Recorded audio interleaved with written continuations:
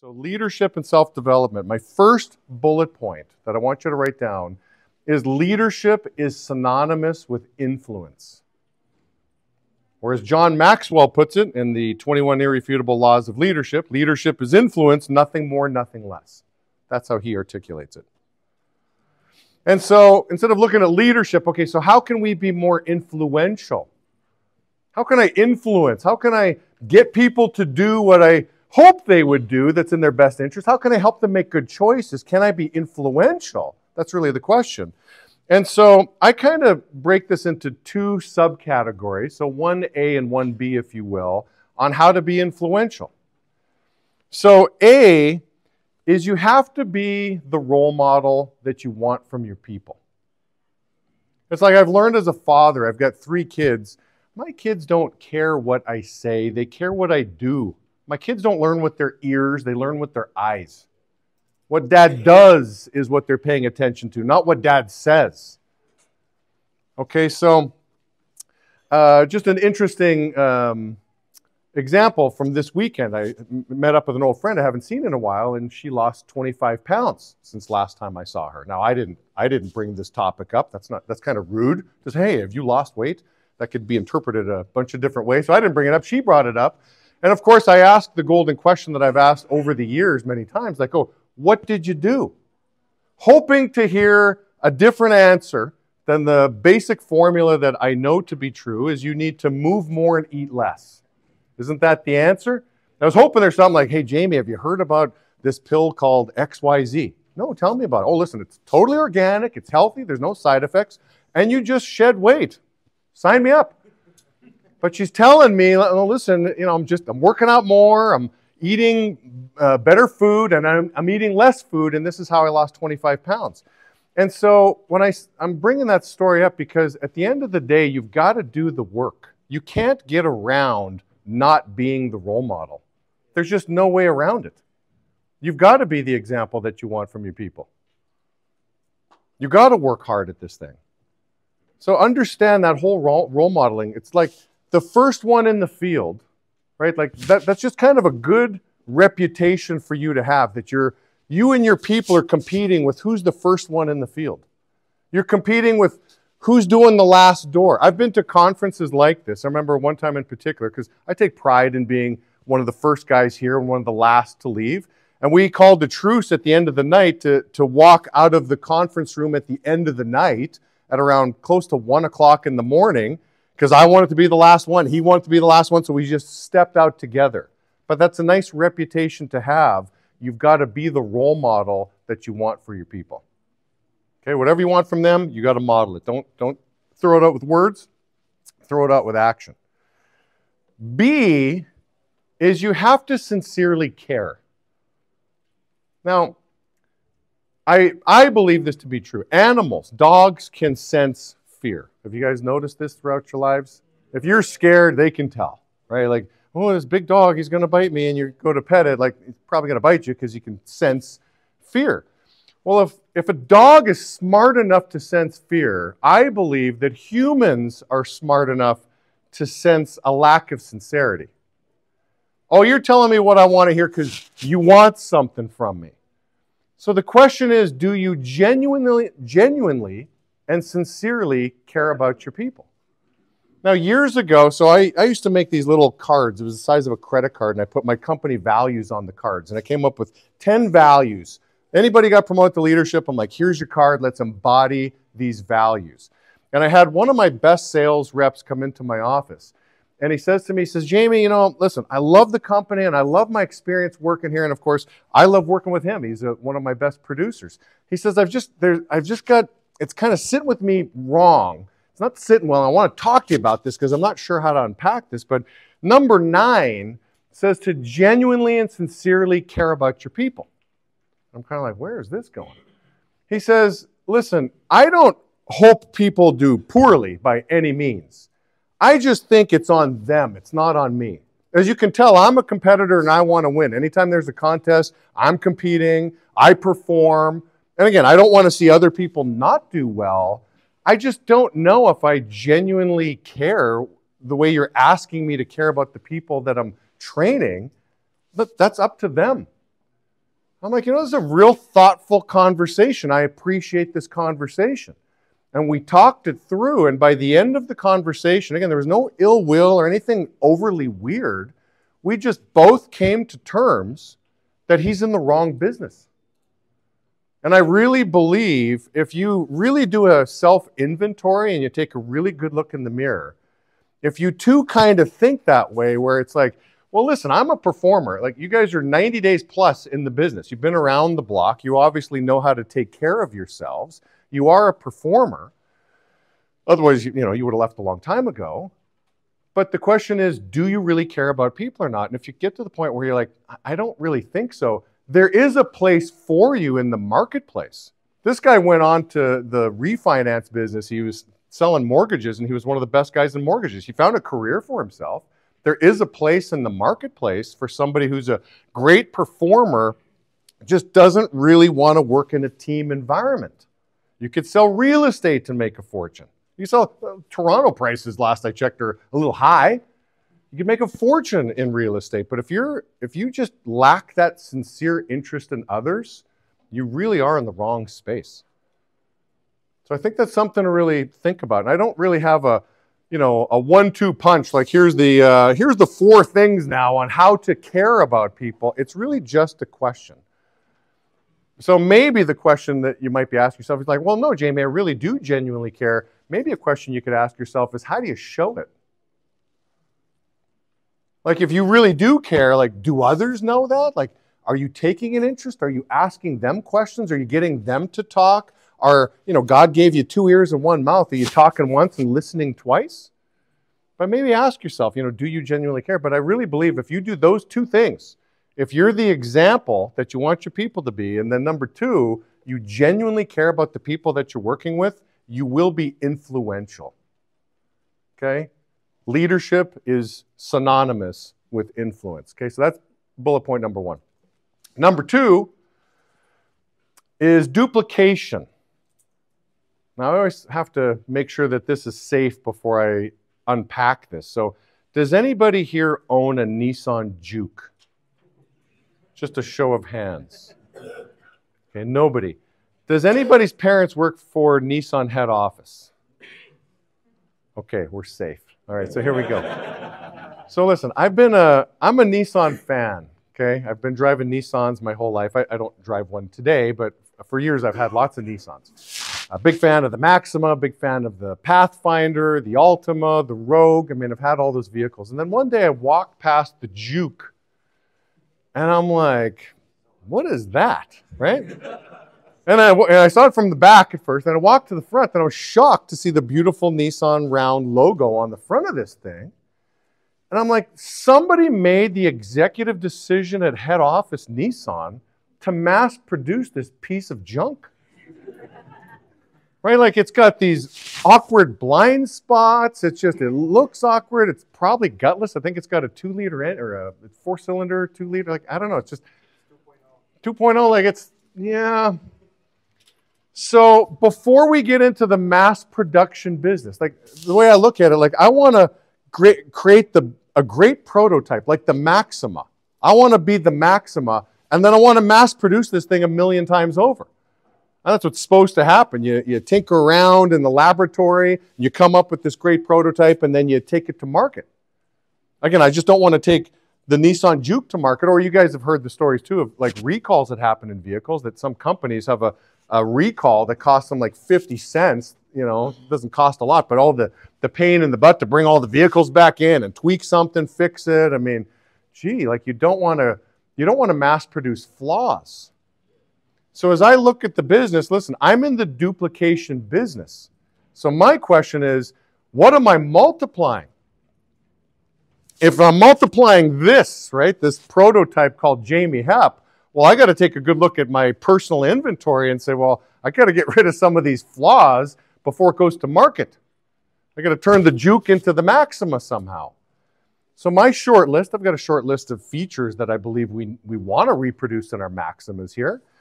And so the first thing I want to produce is high character. Little things like when you go, uh, you know, you take your lunch break at Subway and you say, oh, I'll have the 12 inch whatever, and just a cup of water's fine. Do you fill it with Coke?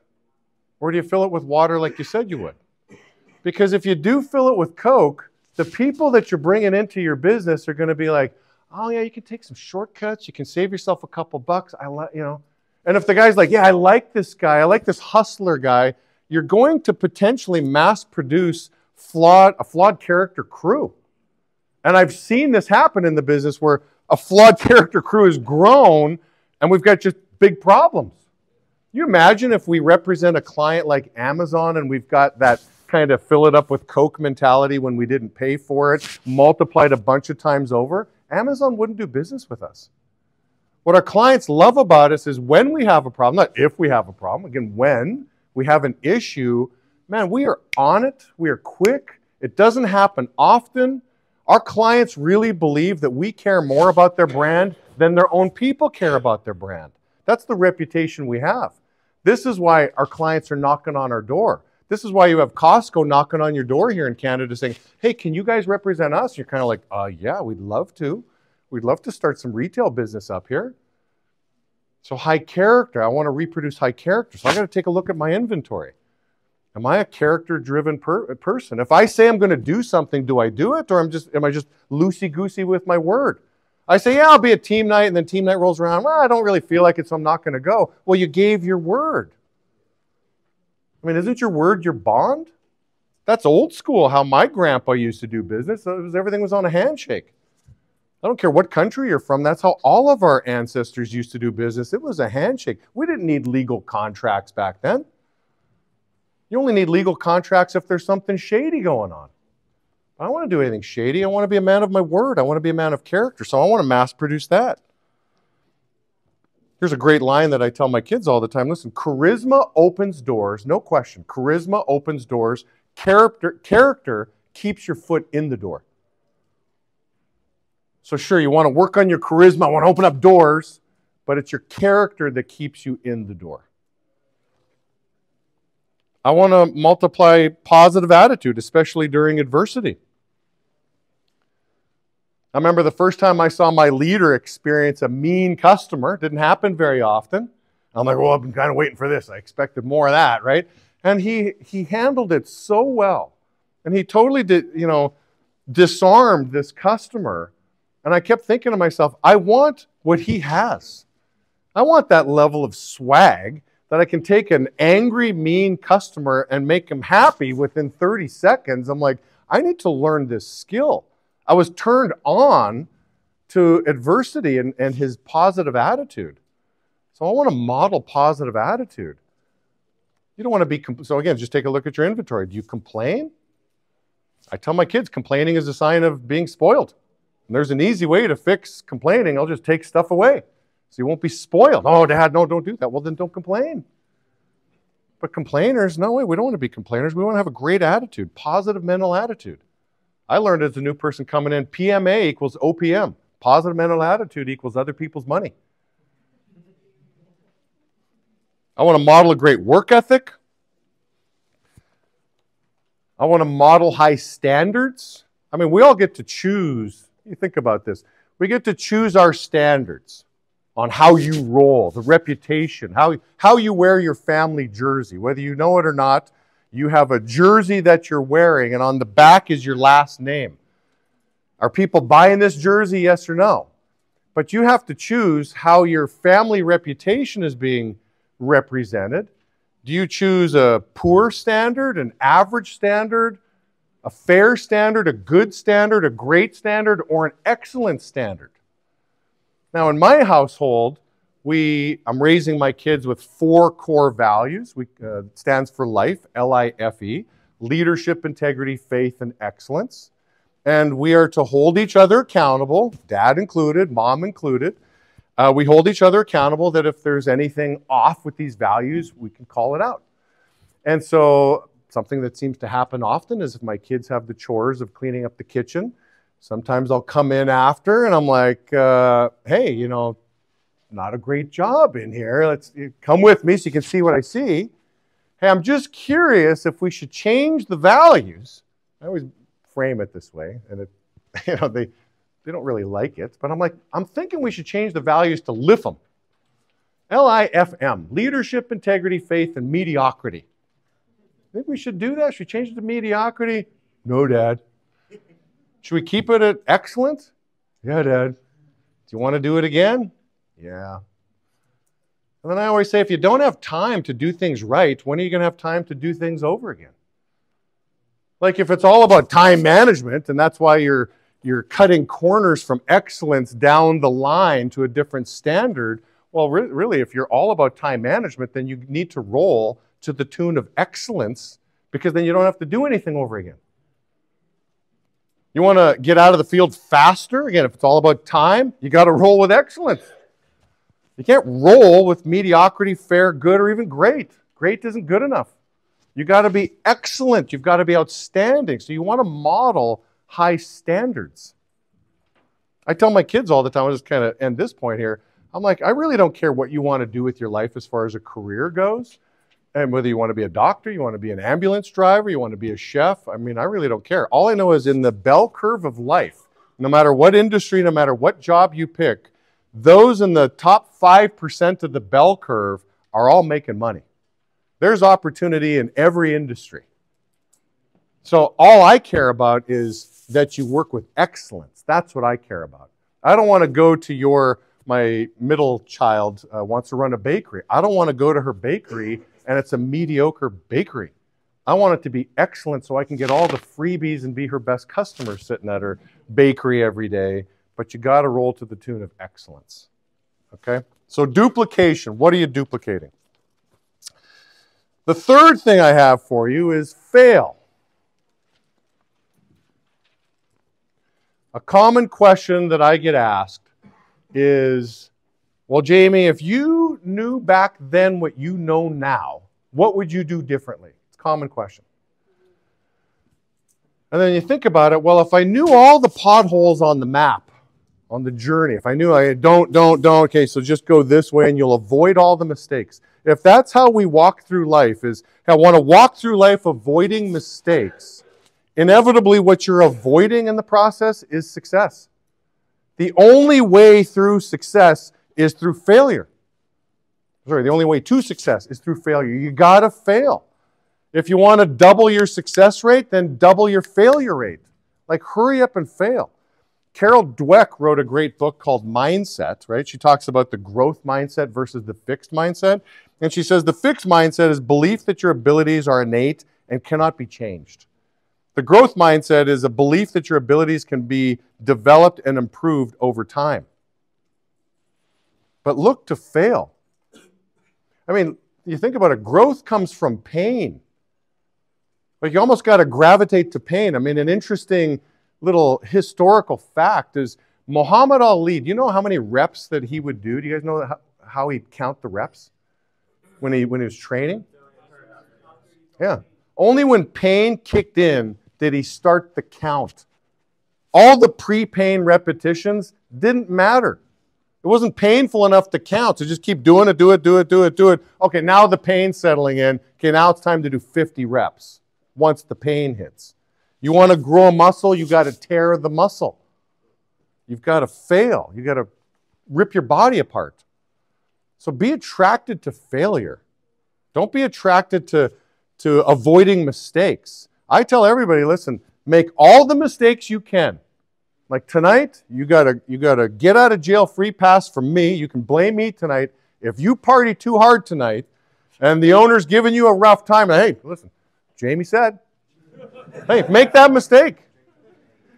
No, party too hard.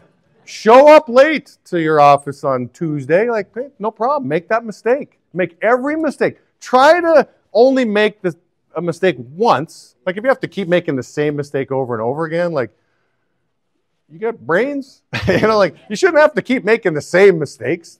Just make them all. Just don't make the fatal two. I would say just avoid the fatal two. Everything uh, you can make the other 998,000, you know, whatever many mistakes there are. Make them all. Just don't make these two. The mistake of poor character, where you fraud a customer, you cheat a customer, like you can't lie. That's a fatal mistake. You'll get terminated through that. Or don't make the fatal mistake of quitting. There's no bouncing back from quitting. How do you bounce back from a quit? I like saying this, this line a lot. You'll never hear somebody successful say, Yeah, I just quit my way to the top. That's how I became successful. It just doesn't make any sense. Okay, so be attracted to failure. And then the fourth thing I have for you, my last bullet point, is WIIFM radio. WIIFM radio. Tune in. What's in it for me? WIIFM. What's in it for me? Why should I follow you? Why should I stick around?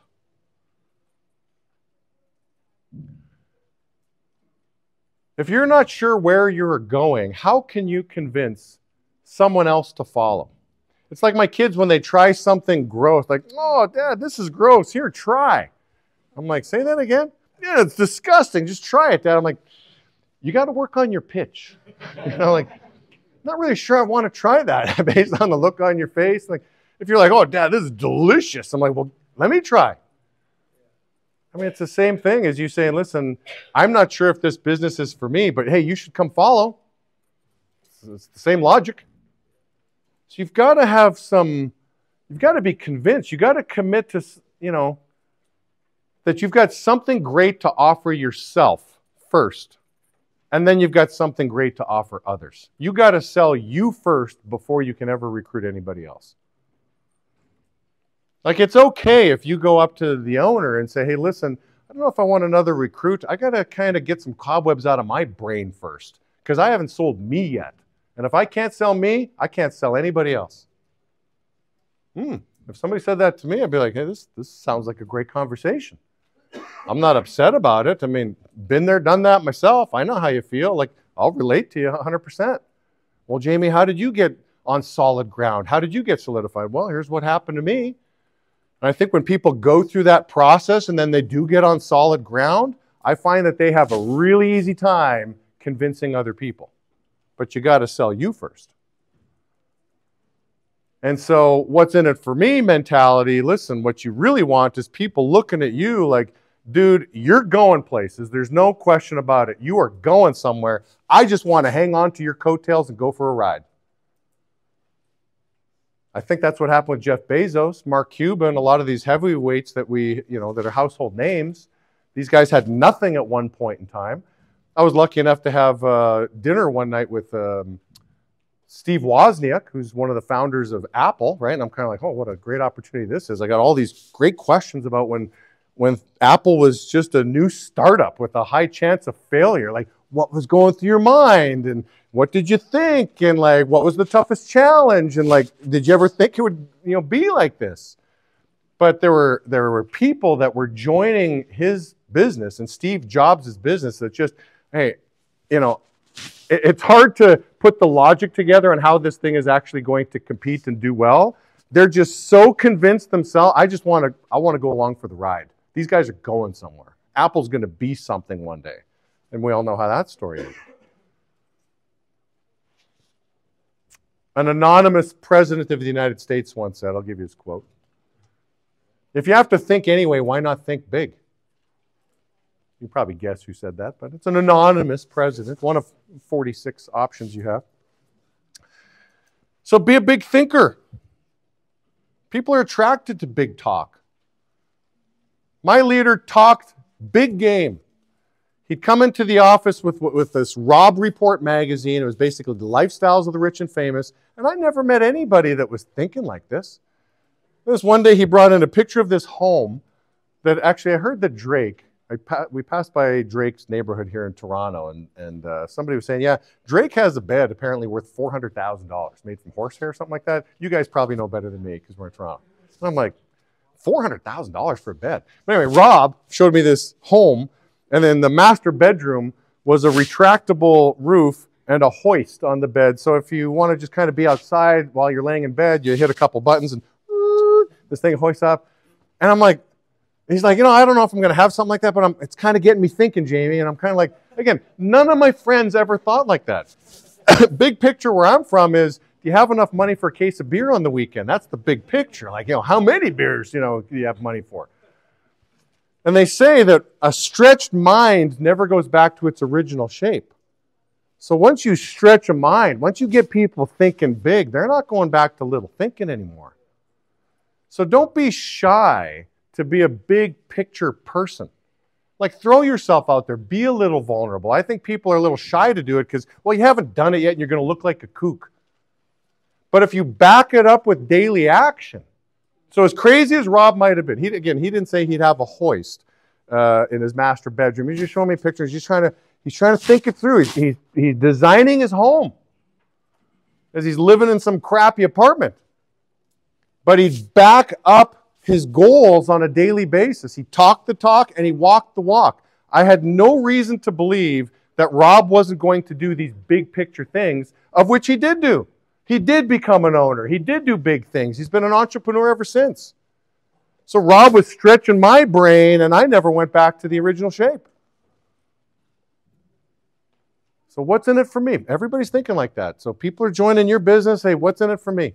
They might not be saying it in those particular words, but they're thinking and they're watching. And if they're looking at you like, dude, you are going somewhere, they're going to latch onto your coattails. They're going to want to go around uh, for the ride.